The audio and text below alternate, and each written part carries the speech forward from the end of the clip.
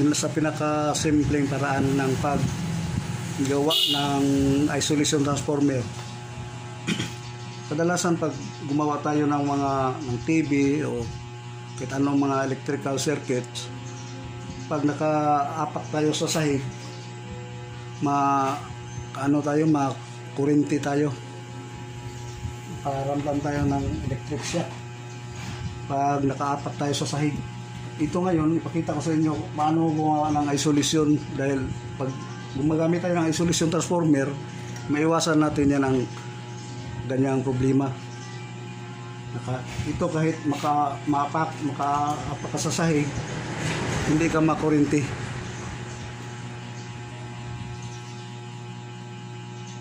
Ito ngayon, pakita ko sa inyo.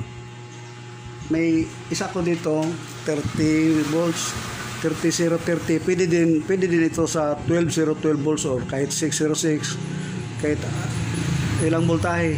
Basta ang kap, ang kapares niya ay ito 30 din. Ito, ito itong kita ko sa inyo, 30 volts ito ang available na dito sa akin. 30 volts ang ipapakita ko sa inyo.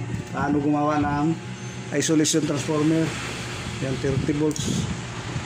Ito ang sa AC niya no sa primary. Ito. Primary yan. Ito ang sa secondary niya 30030 ito.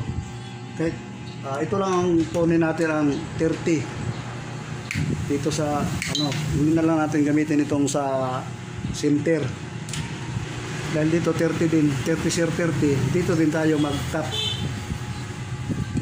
Pakita ko sa inyo paano gumawa ng pinakasimpleng isolation transformer.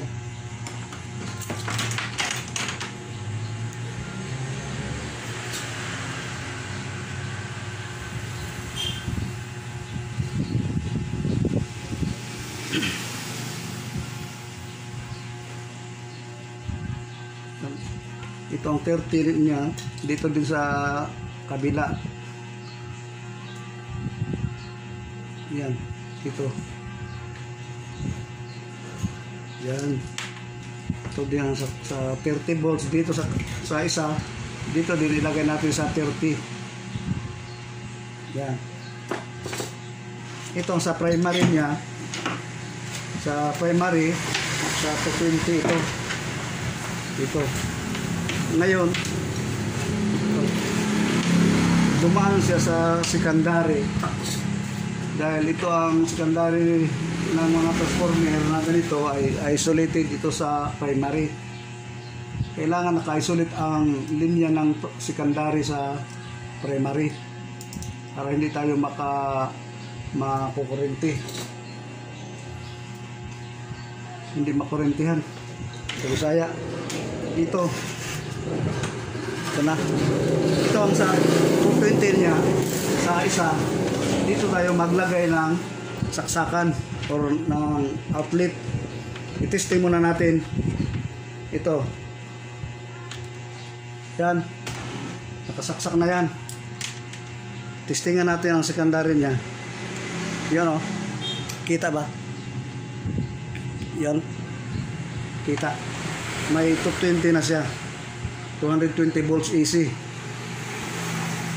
Pero ang input niya ay 30. Dito.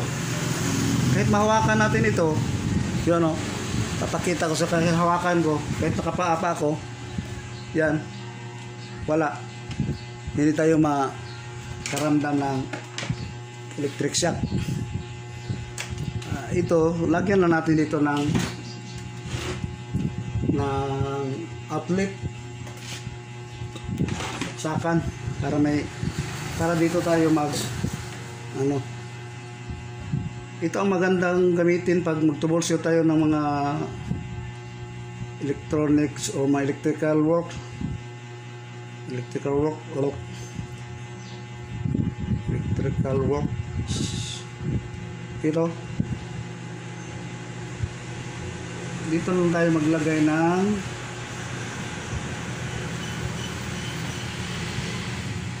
outlet niya. Ayan.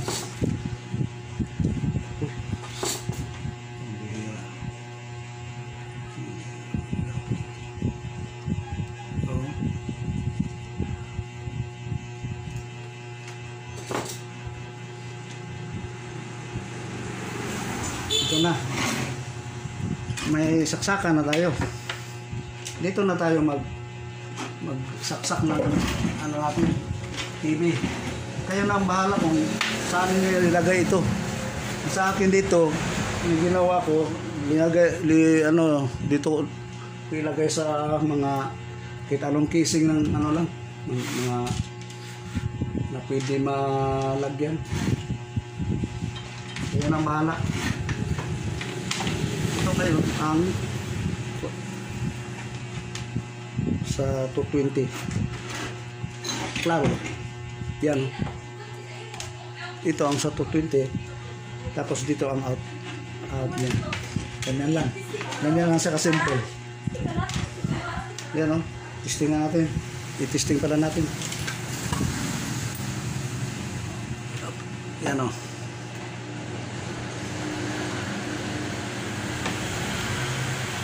Ito.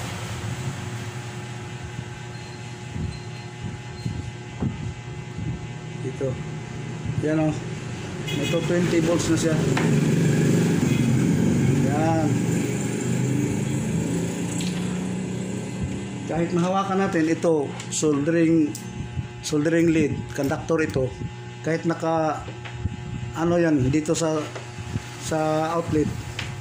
Yan o. Hmm. Wala. Walang kuryente. Hanggang dito lang muna mga karidon electronics. Sana may may matutunan din kayo, may natutunan din kayo sa mga pinapakita ko sa inyo. Maraming salamat. Salamat sa Diyos. Bye-bye.